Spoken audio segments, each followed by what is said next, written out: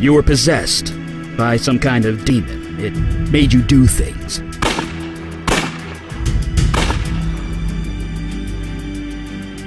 One year has passed since your possession. You were wanted by the police for many violent crimes. But we can help. We can give you a new identity, a new life, a new purpose. Welcome to the Unavowed, my friend. Trust me, your life will never be the same. Magic is real. You know this, and you're part of it now.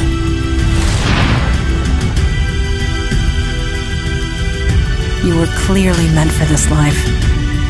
It requires difficult choices, as you are no doubt discovering.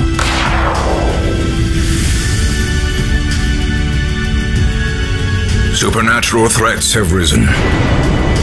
Exponentially. It's been difficult to contain. Monsters working out in the open never leads to anything good.